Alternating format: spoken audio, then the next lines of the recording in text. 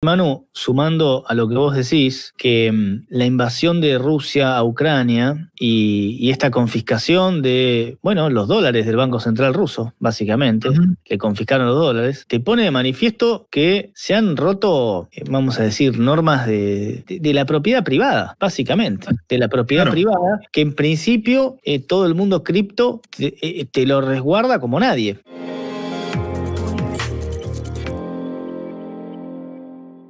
¿Qué, tenés para comentar o qué visión tenés del mundo de las criptomonedas? ¿no?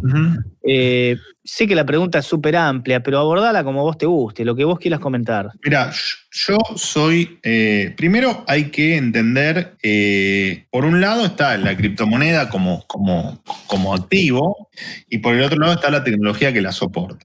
La tecnología que la soporta indudablemente vino a revolucionar el siglo XXI. La descentralización y la cadena de bloques, las cadenas de bloques y la, en algún punto, la democratización del registro de eh, operaciones que no, no tenga que tener un intermediario, me parece que es que va a revolucionar, todavía no lo estamos viendo, pero creo que va a revolucionar el mundo. Dicho esto, las criptomonedas que se sostienen en esa tecnología, eh, yo creo que hay que ver, primero hay que ver qué tanta mano pueden meter los gobiernos en esos esquemas. Yo a diferencia de mucha gente, creo que efectivamente los gobiernos pueden meter la mano y pueden terminar teniendo algún tipo de regulación. Siempre vas a tener, por supuesto, como todo, ¿no? Eh, cuestiones que escapen a los dominios y a los controles de gobierno, pero creo que los gobiernos se van a, querer meterse cada vez más y creo que en algún punto lo van a lograr.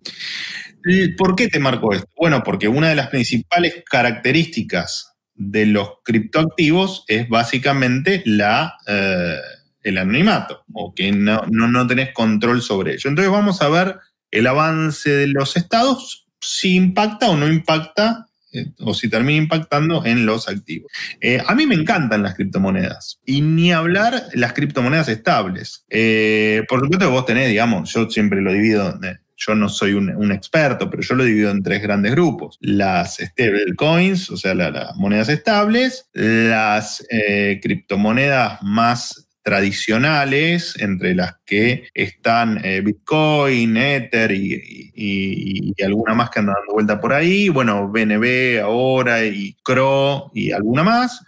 Eh, y después todo el resto, que hay 7.000 criptomonedas, que, que, bueno, que qué sé yo, están ahí y alguien las usará y a alguno les gustará tenerlas. Pero en definitiva creo que, siguiendo con mi estilo conservador, las, las me parecen algo fabuloso. Digamos, las transacciones son extremadamente baratas, la curva de aprendizaje hoy está siendo cada vez más corta. Vos el problema que tenías, uno de los grandes problemas que tenían y tienen las criptomonedas es la curva de aprendizaje. Te cuesta mucho entender cómo funciona, qué son, eh, por qué es que va a estar ahí tu dinero, por qué crees que no. Entender la lógica es difícil y las eh, aplicaciones hasta no hace mucho eran muy complicadas de utilizar. Hoy se ha simplificado eso no tanto la curva de aprendizaje en lo que es, porque eso es muy difícil de, simplificar, pero sí las aplicaciones. Hoy con dos, dos botoncitos podés comprar o vender cripto.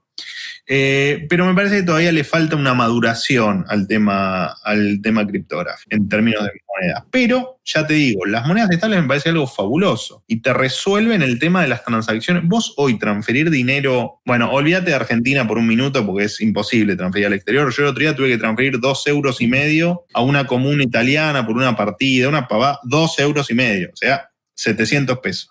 Y estuve 20 días.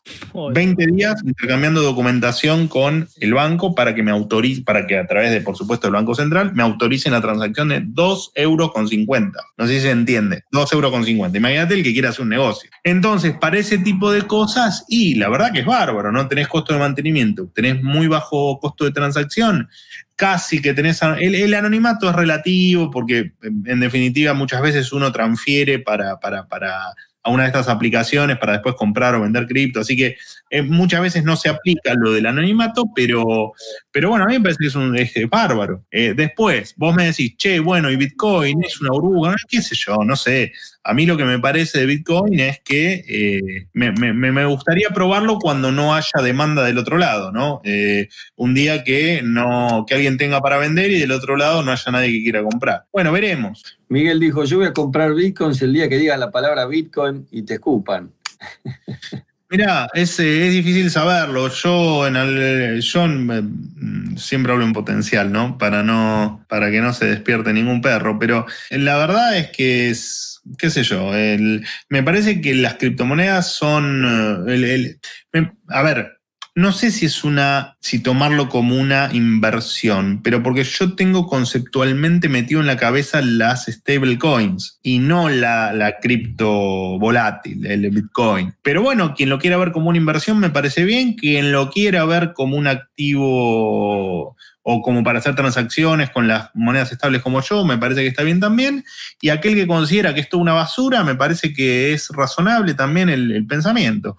Eh, me parece que hoy está buenísimo aprovechar el momento, independientemente de que sea el futuro o de que sea un blef, me parece súper interesante aprovecharlo porque hoy la verdad es que te sirve para hacer un montón de transacciones, un montón de cosas eh, a muy bajo costo. Fíjate, Manu, sumando a lo que vos decís, que mm, la invasión de Rusia a Ucrania y, esta confiscación de bueno, los dólares del Banco Central ruso, básicamente, que confiscaron los dólares, te pone de manifiesto que se han roto, eh, vamos a decir, normas de, la propiedad privada, básicamente, de la propiedad privada, que en principio eh, todo el mundo cripto te lo resguarda como nadie.